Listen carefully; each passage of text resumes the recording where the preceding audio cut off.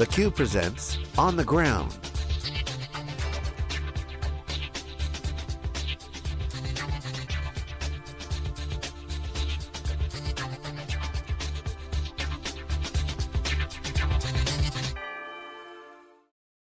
Hello everyone, welcome to this special exclusive on the ground CUBE coverage here at Oracle's headquarters. I'm John Furrier, the host of the Cube. I'm here with my guest, Brad Tewksbury, who's the Senior Director of Business Development for the Big Data team at Oracle. Welcome to the On the Ground. Thank you, John, good to be here. So Big Data, Brad, you've been in this industry for a long time. You've seen the waves come and go. Certainly at Oracle, you've been here for you know many, many years. Yep. Oracle's transforming as a company and you know, you've been uh, you know, watching it play out. Yep. What is the big thing that's most notable to you that you could illustrate that kind of highlights the Oracle transformation in terms of, of where it's come from? Obviously the database is the crown jewel, but you know, this big data stuff that you're involved in is really transformative and getting tons of traction. You got the cloud machine mm-hmm. kind of tying in. Is this kind of a seminal moment for Oracle? Share some, some thoughts there. Yeah, I think you know there's there's many, you know, as the, if you look at the data management path from going back to client server to where we are today, um, you know, data's always played, played a pivotal role, but I would say now what every customer is going through this uh, decision-making process where they're saying, aha, data, I'm being disrupted by all different companies. Before it was, you know, okay, I, I got my data in a, in a database and I do some reporting on it and I can run my business, but it wasn't like I was going to be disrupted by some digital company tomorrow. Because the apps and the databases were kind of tied together. They were tied together, and, and you know Old things days. just didn't move as fast as they do today.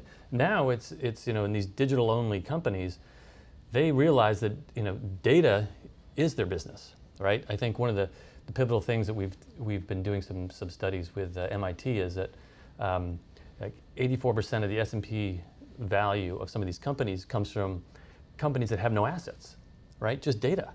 So you know, like Uber doesn't own any taxis. Uh, Airbnb doesn't own any hotels yet. They've got massive valuation. So companies are starting to freak out a little bit, and they're starting to say, "Oh my God, I got to leverage my data." So the, the, the seminal moment here is saying, "How do I monetize my data?" Before it wasn't this urgency. Now there's a sense of like, I got to do something with this data. But the, the, the predicament they're in is, especially these legacy companies, they've got silos of, of stuff that's not talking to each other. It's all on different versions and different you know vendors and Well, Oracle's always been in the database business, so Yeah. you made money by creating software to store data. Right. Now it sounds like there's a business model for moving the data around. Is that kind of what I'm getting at here? So it's not just storing the data, software to store the data, it's Yeah. software to make the data. Yeah, it's, it's like three things. I think it's three things. It's ingesting the data, right, from new sources that we, you know, outside of the company, so sensors and uh, social media, right? That's one thing. Secondly, it's then managing the data, which we've always done. And then the third thing is it's analyzing it. So it's that, that whole continuation. And then what's happened here is the management platform has expanded. It's gone from just a relational base to this whole NoSQL world and this uh, Hadoop world, which we completely support. And we, we're, we're, by no means is this relational a zero-sum game, right? Where it's relational or nothing at all. It's, we've expanded the whole data management platform to meet the criteria of whatever the application is. And so these are the three data management platforms today. Who knows what's going to come tomorrow? We'll support that as well. But the idea is choose the right platform for the application. And what it's really becoming about is applications, right? And this data management stuff is just is obviously table stakes, but I, how do I make my applications dynamic and real time based on what I have here?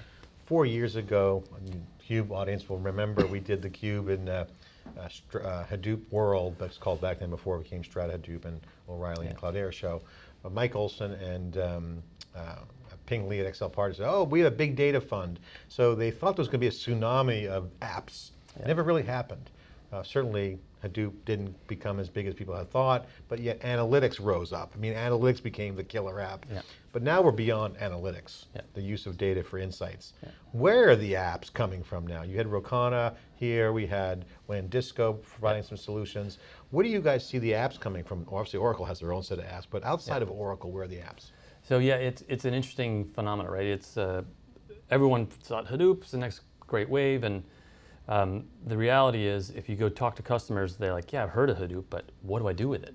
So it's like apps are what's going to drive this whole stack forward. And to that end, um, the number one thing that people are looking for is 360 view of customer. They all want to know more about customer. I was talking with the customer who represents the equivalent of the, the tax bureau of their country, and they, you know, they instead of putting the customer, it's the taxpayer or the customers at the center, and all the different place that you pay taxes. So they want to have one view of you as the taxpayer. So whether you're a public entity, private, um, the number one thing that, that the apps that people are looking for is show me more about customer. If I'm a bank, a retailer, they want to cross sell, and they want to do that. That's that's the number one app. Uh, in in telcos, they want to know about networking. How do I get this network?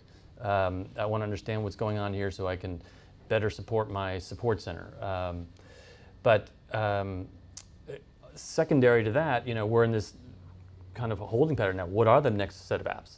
And, and so there's a bunch of startups here in Silicon Valley that are thinking they have the answer for that, and uh, we're you know partnering with them, and we're opening up a, a, cloud marketplace to bring them in, and we'll let customers decide what you know who's going to win this. But talk about Rocana and their value proposition. They're here talking to us today. Yeah. What's the deal with Rocana? So Rocana is um, you know an interesting play. What what they um, have found is that customers. Um, uh, one of the ways they talk about themselves is they offer a data warehouse to IT.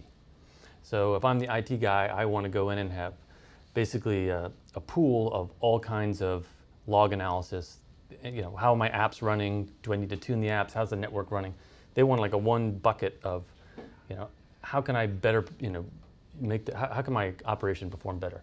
Um, so what we've seen from customers is they come to us and said, oh, okay, you know, what do you got in this new space of Hadoop that can do that? Look at log analysis and you know all kinds of app performance from a Hadoop perspective.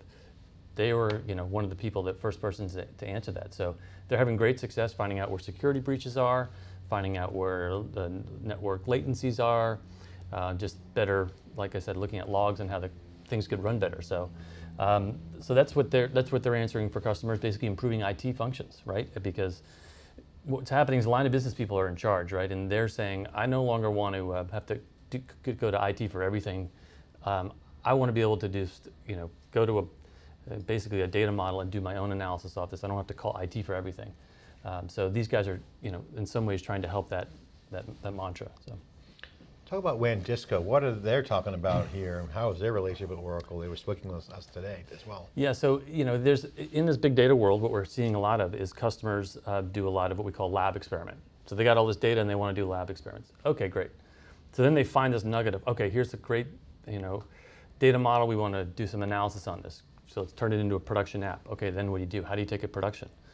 These are the guys that you would call. So they take it into an HA high availability environment for you. Um, and they give you, you know, zero data loss, zero downtime to do that. They, one of the things that Oracle's, you know, we're touting as a differentiator in our cloud is this hybrid approach, where you have, um, you know, you can start out doing test dev in the cloud, bring it back on-prem, vice versa. They allow you to do that sync, that link between the cloud and, and on-prem. That's, they also, uh, you know, we work today with Cloudera, we OEM them in our big data appliance. If the customer has uh, Hortonworks, but they also want to work with our stuff, they're go to go between uh, with that as well. So um, it's basically they're giving you that that um, production ready environment that you need when in an HA world. Brad, thanks for spending some time with us here on the ground. Really appreciate it. Yeah. I'm John Furrier. We're here exclusively on the ground at Oracle headquarters. Thanks for watching.